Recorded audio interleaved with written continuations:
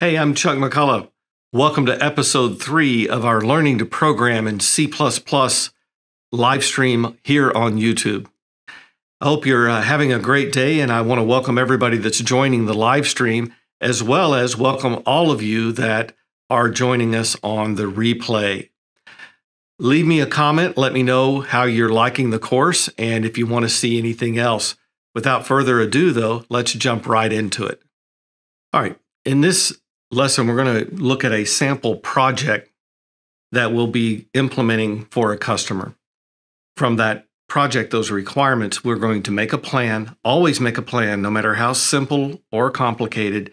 We need to do a little bit of design work so that we have a feel for what we're doing. In order to implement this application, we need to learn about conditionals as well as loops in C++. All right, so what's this project? The customer says they need a program that's going to calculate the area of circles, rectangles, and probably in the future some additional shapes. When we run the program, they want it to first prompt the user for what kind of shape they want to calculate C for circle, R for rectangle, stuff like that. And then, based on what they picked, we'll prompt them for the dimensions, either the radius or the width or the height. Then we'll display the area and the perimeter or circumference in the case of a circle of the two shapes or whatever shape they chose. They also want us to do this over and over again until the user enters Q.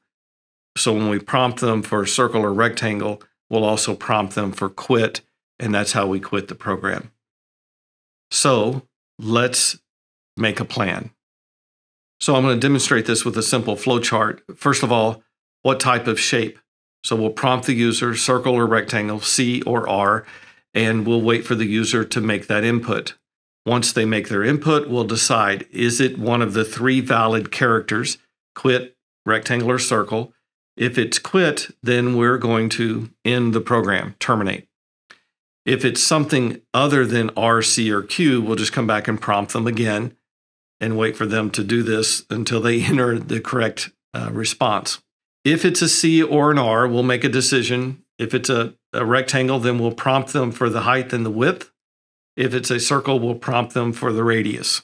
Regardless, we still have to calculate the area of the circle or the rectangle and display the results of those calculations. After we make the calculation, we'll display the area and perimeter and then go back and display the menu again. So the first thing we need to know how to do is write output. Now, you learned about this last week in last week's session. Remember that cout or standard cout is our standard output device, and we use the insertion operator, the two less than symbols, to insert data onto that stream. And we can insert a, a large variety of different data types onto that stream floats, doubles, characters, strings, integers. A lot of different things can be streamed to an output stream. We can also use one of the special manipulators called endl to add a new line character to the stream anywhere we wish. endl and cout are both defined in the header file iostream, so we need to include that at the top of our source file. To read input, we use cin. That's our standard input device. Again, define an iostream. This time the arrows go the other direction. We use the uh, greater than symbol to read data or extract data from that stream. The user input is always text. End users interact with the computer using text or strings, but the stream does know how to automatically convert to primitive types, as you saw in the last session when we prompted the user for a circle's radius.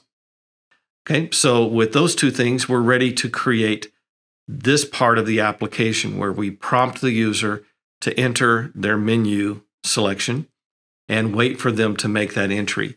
So, as usual, the same old boilerplate stuff with our include, our namespace, and main.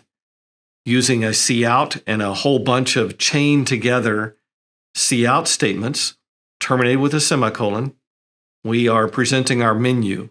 I didn't put an endl at the very end because I want the blinking cursor to be sitting right after the word quit so that when the user when we the user has to enter the character, it will show up right after that menu prompt. Now, once the user has entered something, we need to make a decision on what it is that they entered. So we need to talk about if and else. Those are used to create conditional blocks. So inside curly braces, we can have all of the statements that we want to execute if a condition is true. Optionally, the else, a block of statements that will execute if that condition was false. We can also use else if to chain together multiple conditions.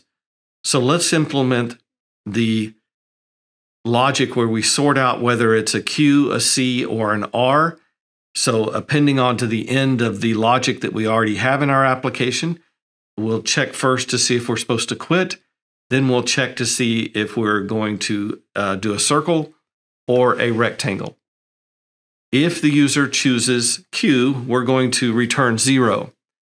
The return and then zero is because our function returns an integer. That's the exit code to the operating system. A little beyond the scope of what we're doing right now.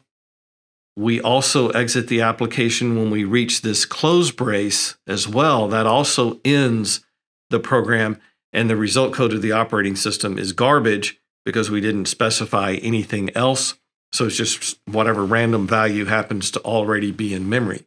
Also, I'm checking for upper or lowercase characters using the OR operator. Two vertical bars means OR. Equality comparison is done with double equal signs.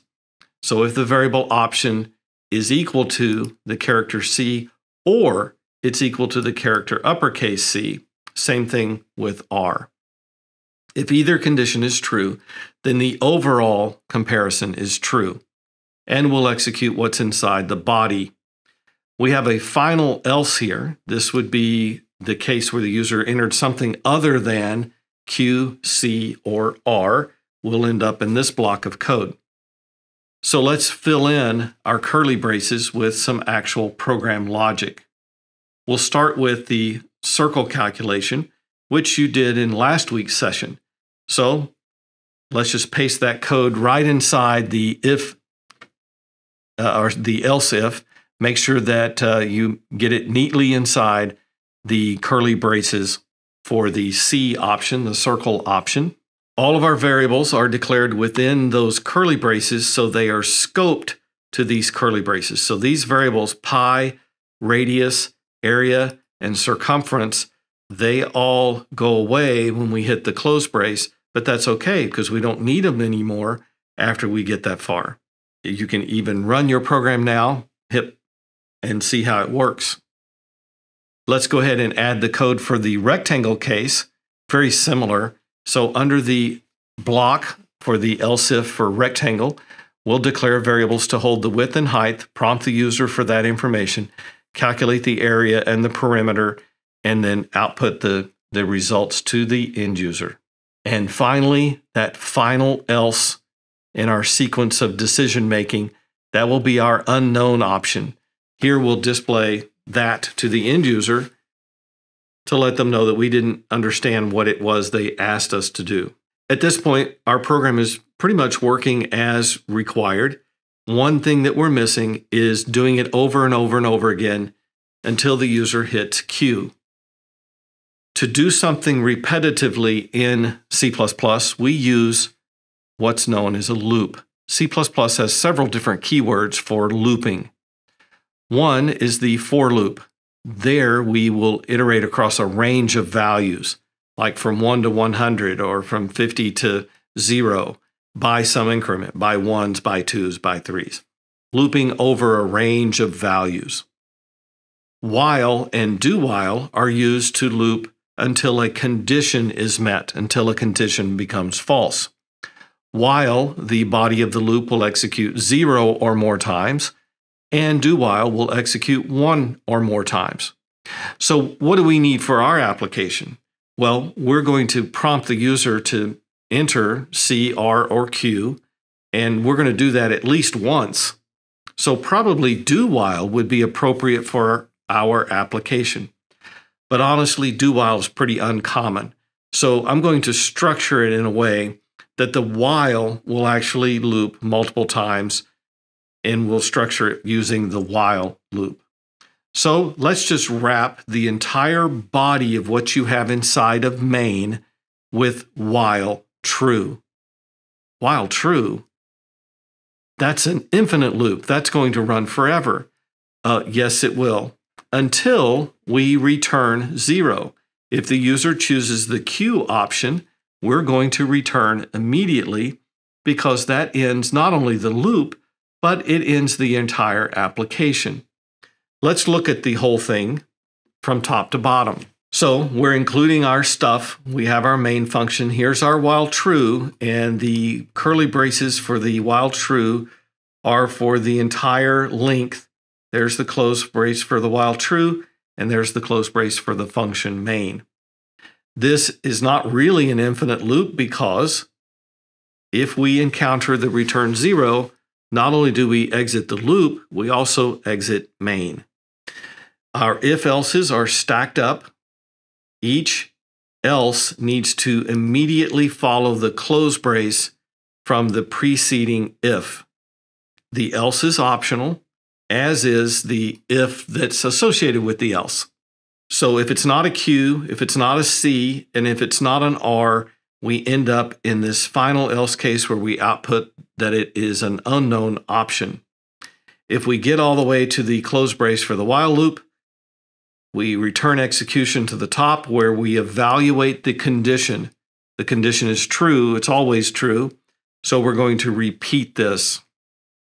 If I run my application, we can choose to enter a circle. We'll enter the radius of a circle, let's say four, and I get uh, a reasonable response. Look, the menu has repeated. This time I'll choose R for rectangle, a width of two and a height of three.